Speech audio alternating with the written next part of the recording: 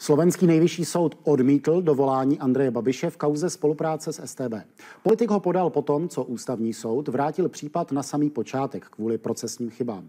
Babiš se chce teď bránit u Evropského soudu pro lidská práva. Svou spolupráci s komunistickou tajnou policií dlouhodobě odmítá. Byl to poslední pokus bránit se u slovenských soudů a nevyšel. Po víc než šesti letech právní bitvy s Ústavem paměti národa Andrej Babiš končí jako poražený. Žaloval ho, protože tvrdí, že je ve svazcích STB vedený neoprávněně. Je to lež, já jsem ty soudy vyhrál. Najvyšší súd ako súdu dovolací dovolanie Andreja Babiša odmietol. Dôvody budú podrobne rozvedené v písomnom vyhotovení rozhodnutia. Řídil se přitom podle všeho říjnovým verdiktem ústavního soudu. Ten zrušil všechna rozhodnutí nižších instancí, která dávala Babišovi zapravdu kvůli procesním chybám a postavil se na stranu Ústavu paměti národa. Základné práva porušené boli. Historikům vadilo, že soudy opřely verdikty o svědectví bývalých důstojníků STB, kteří tvrdili, že si krycí jméno Bureš vymysleli, že vypovídali bez zbavení mlčenlivosti a hlavně, že by ústav měl být žalovanou stranou. Ústav pamäti národa predsa nemôže byť trestaný za to, že správuje tieto dokumenty z doby neslobody. Andrej Babiš původně plánoval jít do celého sporu znovu tady na Slovensku. Chtěl žalovat nástupnické instituce STB, tajnou službu nebo ministerstvo vnitra. Po středečním jmenování premiérem ale oznámil změnu plánu a reagoval tak i na aktuální rozhodnutí soudu. Designovaný premiér se bude bránit dál a výš. Teď budu žalovat e, Slovenskou republiku u Evropského soudu pro lidské práva v Štrasburgu a tu žalobu podám do 15.6. Tamní tribunál znovu přeskoumá postup slovenských soudů. Ve většině případů přitom souhlasí s národní justicí.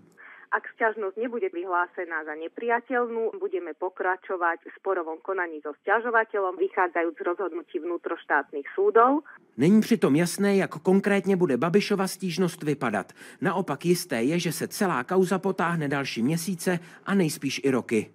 Lukáš Maté, Česká televize Bratislava. Teď budeme mluvit s advokátem Janem Černým. Zdravím vás v událostech komentářích. Hezký večer. Dobrý večer. Pane Černý, zkusme z té právničiny sformulovat, nebo zkuste vy sformulovat jednu, dvě věty. Jak vlastně číst ten dnešní slovenský verdikt? Vycházejme z toho, že ústavní soud zrušil rozhodnutí krajského soudu a vrátil mu věc k novému projednání, ale s tím, že ho zavázal svým právním názorem. To znamená, jednak spochybnil část důkazní situace, to znamená znevěrohodnil svědky a jednak tu žalovanou stranu označil, že je bez legitimity. Pro, diváku, pro diváky řeknu, že nebyla ta správná, která měla být žalovaná. A krajský soud podstatě neměl jiný manévrovací prostor, než žalobu zamítnout. To podobné bylo i s dovoláním. Dovolací soud musí také respektovat nález ústavního soudu, jinými slovy právní názor ústavního soudu. Ale vzhledem k tomu, že jsou tady další procesní možnosti a z médií vím, že Andrej Babiš je hodlá využít, tak boj nekončí, nebo ten případ nekončí. Nyní, podle toho nejnovějšího stavu. Je tedy Andrej Babiš eh, pohledem slovenského práva oprávněně evidován jako bývalý spolupracovník agent STB? No já si myslím, že se to nedá takto říct, ale není to vina Andreje Babiše. Já si myslím, že tam došlo, došlo k určitému, řeknu, právnímu nedorozumění, když Andrej Babiš podával žalobu na instituci, na kterou obdobně podá, se podávaly žaloby i v jiných případech a ústavní soud ale v tomto okamžiku nebo v loňském roce označil tuto instituci za instituci bez legitimity, bez legitimity v tomto případě. To znamená, že neměla být tato žalována. Víte, mě šlo o to třeba, Takže já že... řekl, že tady... Prosím, dokončete větu, klidně. Ne, já si myslím, že v téhle chvíli je tady, rozumějte mi dobře, ale díky rozhodnutí ústavnímu soudu určitá nejasnost a už to mohlo být vyřešené. Mně šlo třeba o to, že v Česku je hodně set lidí, kteří se u soudu domáhali svého výmazu z registru spolupracovníků STB, eh, dosáhli toho a nyní mají explicitně od České právní instituce řečeno, vy jste neoprávněni byli evidováni. Lidé, kteří tuto explicitní uh, větu nemají, jak se na ně tedy pohlíží? Jsou a priori považováni, můžou, mo, mohou být nazýváni bývalými spolupracovníky STB, nebo jsou v nějaké zóně, kdy se to nedá ani explicitně říct, ani explicitně vy, vy, vyvrátit?